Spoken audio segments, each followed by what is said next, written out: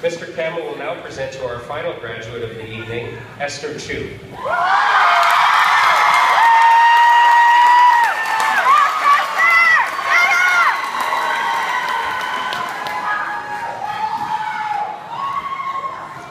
Esther is receiving an OSSD, Ontario Scholar, Academic Medal, Certificate of French Immersion Studies, Grade 12 Introduction to International Business, Grade 12 Principles of Financial Accounting, Grade 12 English, Alan Parker Memorial Award for Class Valedictorian, Kirk Cedarberg Making a Difference Award, recognizing Esther for her passion for living, Tony Mendel Rotary Award for Grade 12 English, Rotary Orange and Black Award for a female student who has shown excellent scholarship and who, in the opinion of the staff, has made a positive contribution to life at Streetsville Secondary School during her four years.